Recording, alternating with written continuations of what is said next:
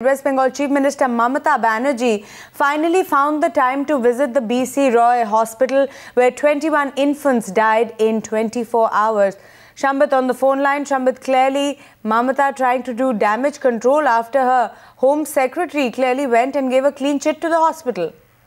Uh, exactly, it was Mamata's damage control today. After two days after the incident uh, took place where 21 babies died in just 48 hours time, Mamata Banerjee visited the hospital herself. In fact, she had uh, argued with the uh, media persons that due to media pressure, media crowding there in the hospital, she did not come here earlier. But today she had come, she had gone inside, visited the wards and talked to the uh, uh, patients' relatives as well as the uh, hospital administration, hospital authority, hospital supers.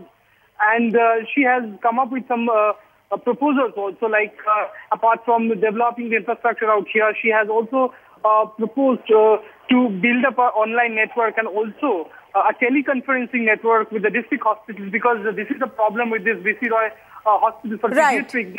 All the patients are referred here from district hospitals directly and they have a rush here and that becomes a problem, difficult for uh, the, the, hospital authority to take care. Maruf? Mamata Banerjee there uh, and Shambit giving us more details of Mamata's damage control.